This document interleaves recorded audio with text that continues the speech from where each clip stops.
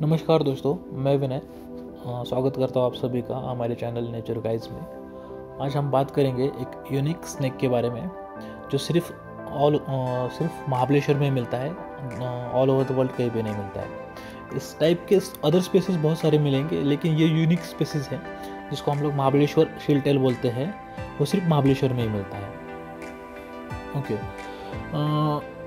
अगर हम लोग स्नेक के बारे में बात करेंगे तो ये नॉन वेनमस है, यानी बिल्कुल भी जहरीला नहीं है।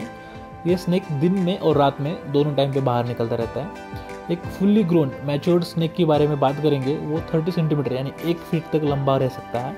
और उसका एवरेज बॉडी डायमीटर जो रहेगा, वो आप कह सकते हैं सवा सेंटीमीटर या ट्वेल्व बारह मिलीमीटर तक रहेगा। इसकी जो बॉडी है, वो गोलाकार रहेगी बहुत ही स्मूथ रहेगी यानी मुलायम चमकीली रहेगी और उसके बॉडी पे स्केल भी ऑब्ज़र्व किए जा सकते किए जा सकते हैं। अगर स्नेक के बारे में बात करेंगे तो ये पहाड़ी इलाके में रहता है।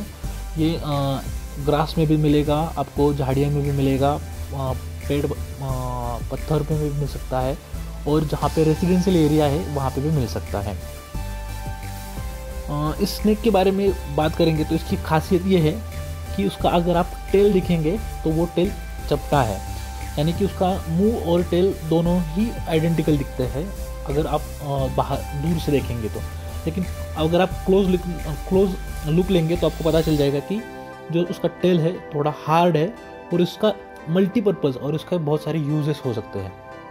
जैसे कि ये स्नेक उस टेल से अपना बिल कर सकता है अगर उसका प्रे यानी वो मेनली ये अर्थवर्म पे फ़ीड करता रहता है तो उसको खोज निकालने के लिए इस टेल का यूज़ कर सकता है। अगर वो कुछ प्रे या फिर अंदर कहीं पे बिज़ी है तो उसका टेल है वो उसके सर की तरह रहेगा। तो अगर कोई उसका प्रेडेटर रहेगा तो उसको लगेगा कि ये नहीं ये इसका सर है और वो उस पर अटैक नहीं करेगा।